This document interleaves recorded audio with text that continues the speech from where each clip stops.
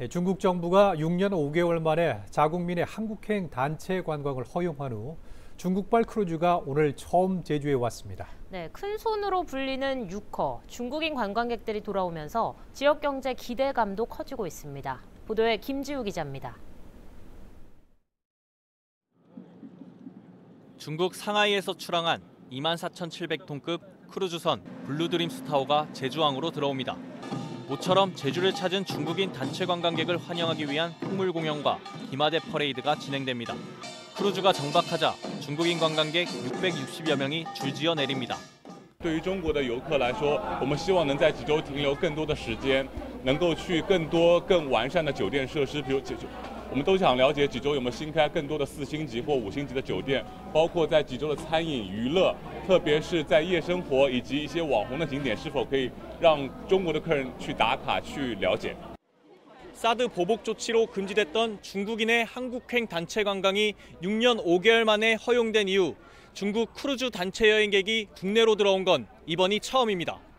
중국 관광객들은 하루가량 제주에 머물며 용두암 등 주요 관광지와 면세점 쇼핑을 즐긴 뒤 일본으로 떠날 예정입니다. 유커가 본격적으로 들어오면서 침체됐던 외국인 관광 시장에도 화색이 돌고 있습니다. 유커들이 다시 온다 그래가지고 K 패션 트렌드가 굉장히 떠오르고 있는데 새로운 브랜드들 좀 런칭하면서 준비하고 있고요.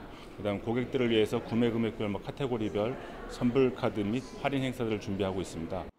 중국 현지내 제주 관광에 대한 관심이 여전해 단체 관광객들은 계속해서 늘어날 전망입니다. 실제 내년 제주에 입항 의사를 보인 크루즈선은 현재 330여 건. 이 가운데 80%가 중국발 크루즈선으로 이를 통해 관광객 90만 명이 제주를 찾을 것으로 보입니다. 因为我们一直是期待着能够 到济州来。其实我们游轮在五月份已经来过一次济州，但是当时是没有带客人，是来做这个临时的这个，所以济州一直在我们的计划里面。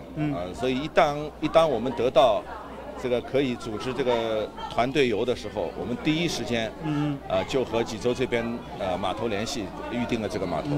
제주도는 중국 단체 관광객 유치가 지역 경제 활성화로 이어질 수 있도록 역량을 집중할 계획입니다.